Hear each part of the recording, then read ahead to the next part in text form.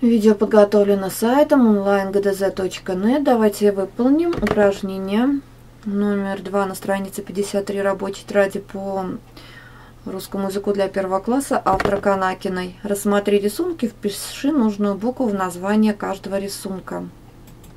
Подчеркни буквы, которыми обозначены твердые, шипящие, согласные звуки. Щетка. Буква Щ. Часы буква Ч.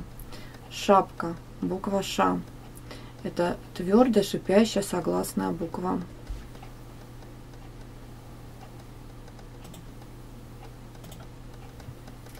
Груша, буква Ш, обозначает твердый, шипящий, согласный звук. Жук, буква Ж, обозначает твердый, согласный, шипящий звук. Ж. Щука мягкий согласный звук не подчеркиваем. Если вам понравилось видео, смотрите остальные решения на нашем сайте. Если у вас есть вопросы или предложения, оставляйте свои